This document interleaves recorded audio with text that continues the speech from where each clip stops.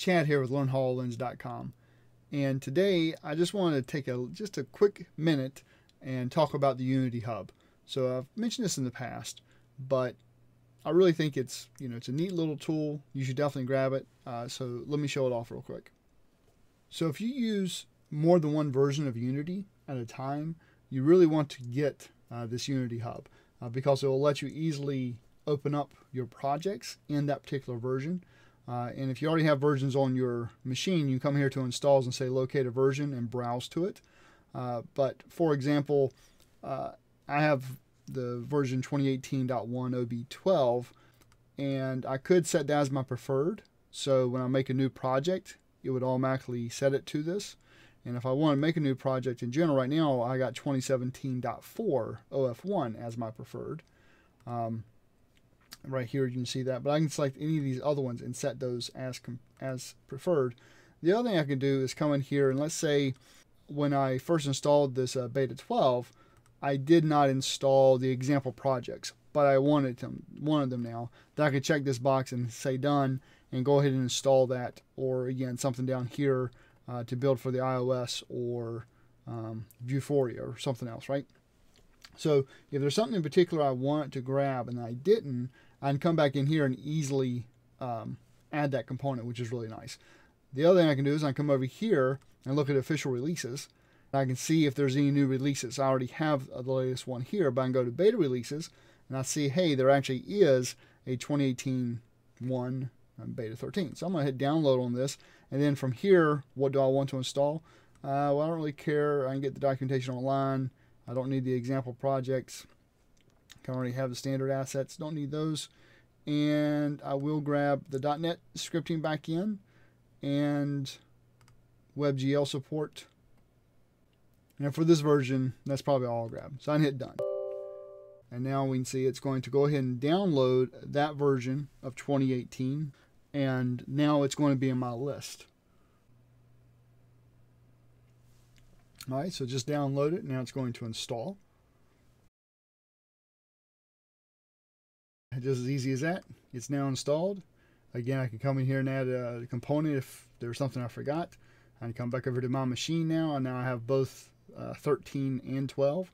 Since I have 13, I go ahead and uninstall 12 because I really don't need him anymore and it starts uninstalling. So I can manage all of my Unity installations right here uh, through the Unity Hub.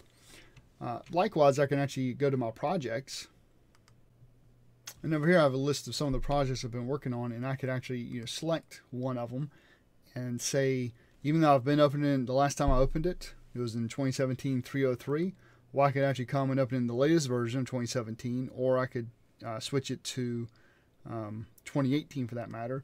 I could also change it from regular Windows desktop uh, to, to Windows Store app um, right here and let it open by clicking on those three dots. And of course, if I don't do that, then by simply opening up this one, it's going to open up a 2018.1.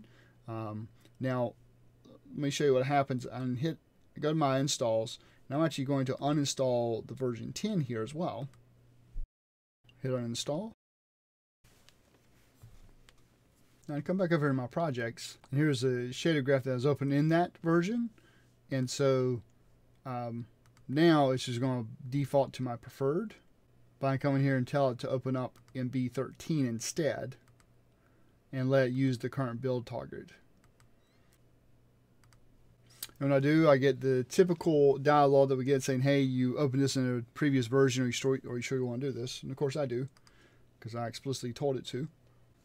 And so the point is everything works as expected uh, using the Unity Hub. And so here we see the project has loaded using the target that I closed it down with last time, which is regular Windows, uh, PC, and Linux. And I hit play, and the scene is going to run. Now this actual project, uh, you may be interested in this. This is using uh, Shader Graph, the new Shader Graph tool from Unity.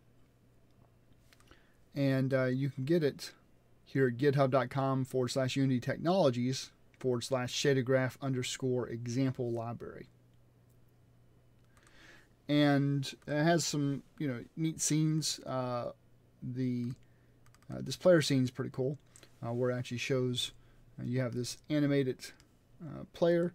We hit play in here, and he'll be animated, but he has all these different um, shaders associated to him, and these are all created using shader graph, including a nice little ribbon there.